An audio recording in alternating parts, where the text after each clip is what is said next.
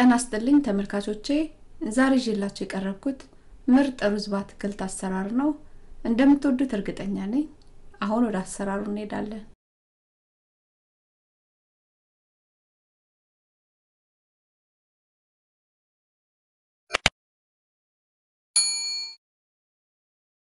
ሩዝ በአትክልቱን ለማዘጋጀት የሚያስፈልገን ሽንኩርት፣ ነጭ ሽንኩርት፣ ዘይት፣ በርበሬ፣ እርድ፣ የአበባ ጎመን፣ እየተቀላቀለ የአትክልትና ጥራጥሬ፣ ሩዝ፣ ዱቄት፣ ውሃ፣ ጨውና ቁንደ በርበሬ ናቸው። ሰፋ ባለ እቃ ላይ ዱቄቱን፣ በርበሬውን፣ እርዱን፣ ጨውን፣ ቁንደ በርበሬውንና ውሃውን እናስገባና ወደ ሊጥነት እስኪቀየሩልን ድረስ እናዋህዳቸዋለን።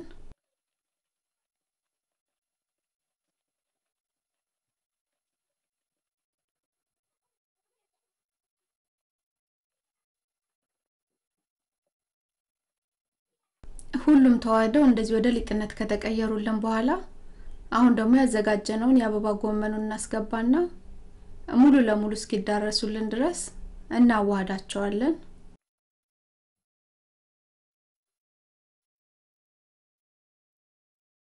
በድስቱ ላይ ግማሽ ኩባያ የሚያህል ዘይት አደርግና ዘይቱ እስኪግልልኝ ድረስ እጠብቃለሁ።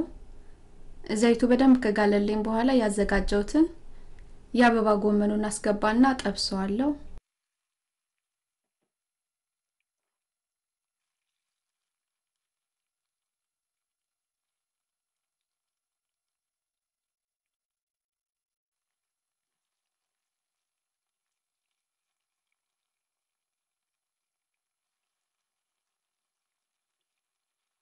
የአበባ ጎመኑን በጠበስኩበት ድስት ላይ አንድ የሻይ ማንኪያ የሚያህል ዘይት አስገባና ሽንኩርቱን አበስለዋለሁ።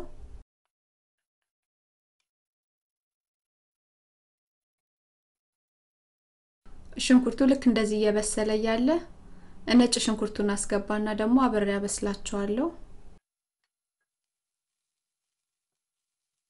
በጎን ሩዙን steam እያደረኩት ነው።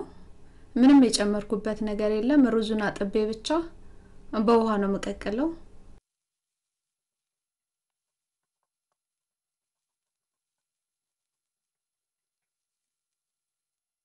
ሽንኩርቱ ዘይት በጣም ስላነሰው ትንሽ ዘይት አድርጌበታለሁ።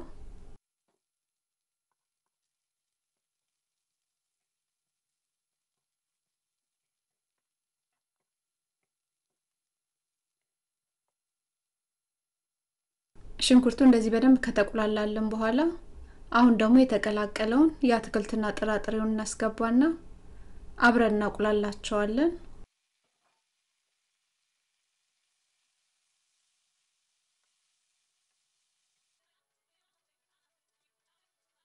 አሁን ደግሞ በቂ ነው የምንለውን ጨውና ቁንደ በርበሬ እናስገባለን።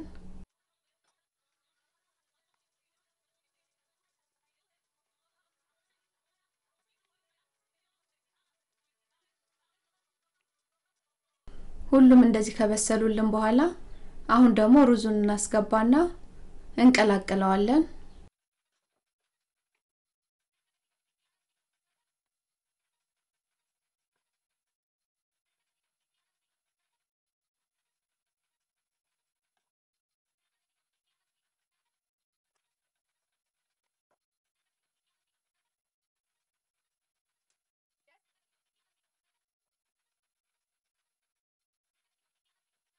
ሩዙን እንደዚህ ካቀላቀል ነው በኋላ አሁን ደግሞ የአበባ ጎመኑን እናስገባና እንቀላቅላቸዋለን።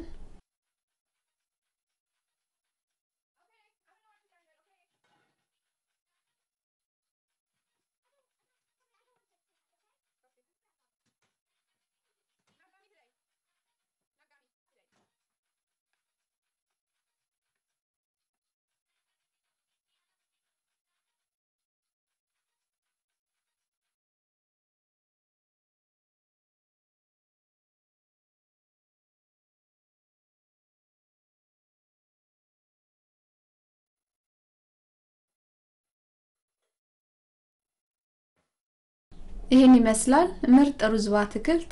እንደወደዳችሁት እርግጠኛ ነኝ። አስተያየት፣ ጥያቄ ካላችሁ እቀበላለሁ። አመሰግናለሁ። ደህና ሁኑ።